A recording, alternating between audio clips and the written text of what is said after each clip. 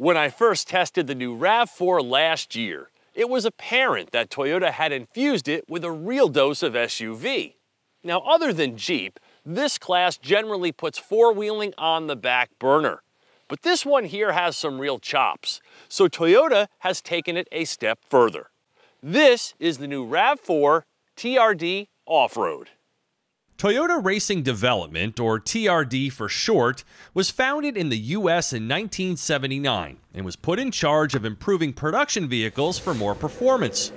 But it wasn't until 1997 that customers could buy a Tacoma straight from the dealer that was outfitted with TRD parts, and thus the TRD off road package was born. Flash ahead to 2020, and Toyota offers three TRD off road models Tacoma, 4Runner, and now the RAV4. Unlike the TRD Pro models, the off roads are more tepid in their approach. When the RAV4 was redesigned last year, Toyota introduced an adventure model equipped with additional ground clearance, a more advanced all wheel drive system, rugged appearance, and greater towing capacity. The biggest difference between this TRD and the less adventurous adventure grade is that this one comes equipped with shocks and springs that are designed to better handle rough terrain. It also includes new bump stops for a smoother ride and better protection of your components. And of course, you also get these TRD wheels and off-road tires.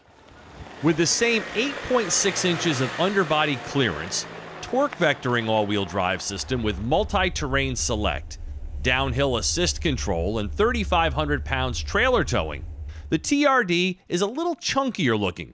Comes in exclusive colors such as this magnetic gray with ice edge roof and includes hill start assist control. Inside, there are TRD all weather floor mats and cargo mat, and some amazingly comfortable seats wearing black Softex with the TRD logo. So while there's nothing all too off road crazy going on here, this RAV4 is certainly more capable than the vast majority of its competitors, with the Jeep Compass and Subaru Forester being the outliers. These new Falken Wild Peak all-terrain tires are likely the TRD's most distinguishing attribute, in that they provide the footwear needed to tackle the trail without sacrificing open road drivability. They're also severe snow rated. The bird's eye view camera with perimeter scan is also another ace in the hole for both sizing up obstacles and parking spaces. And though there's no low range gearing, the slow speed drive modes, tailored for mud and sand and rock and dirt, do well to set the driver up for success. You can monitor the torque distribution up here. As for the TRD suspension components, they don't stand out as anything extraordinary on or off road. I'd describe the ride quality as okay. So the engine is the RAV4's missing link. It's kind of slow, incredibly noisy, and paired to a transmission that's not normally doing it any favors. So the TRD off-road is kind of a Jekyll and Hyde experience. You're going to love driving it out here, but less so anywhere else. Same complaints as my first time around, but perhaps a little stronger. This 203 horsepower four cylinder has to pull the most weight here, and its asthmatic sounds and deliberate acceleration start to grate on you. Combine that with poor highway manners and lots of wind noise, and the TRD will have you wishing for more mud time, where it's a joy to drive out here.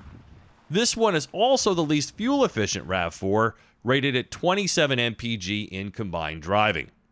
Loaded with all of the extras, including the really cool two-tone roof, this RAV4 stickers for $41,485.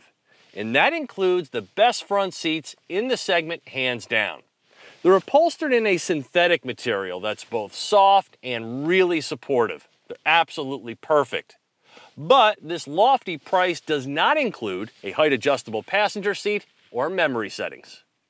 Yeah, there's some sticker shock here despite the nearly fully loaded flavor. Though the infotainment is CarPlay compatible and simple, the graphics look low res and the screens are dim and hard to see in sunlight. The driver assistive features are also robust, but the dynamic cruise control with lane keep assist is perhaps the crudest on the market. I also wish some of these buttons, like the one for the camera, were somewhere on the right for easier access. The rear seats are spacious and comfortable, and the cargo area equally well sized with a power liftgate. But if this is the kind of small SUV fun you're after, a Jeep Compass Trailhawk may be a better bet, and at the very least is definitely worth a look. For TestDriveNow.com, I'm Steve Hammes.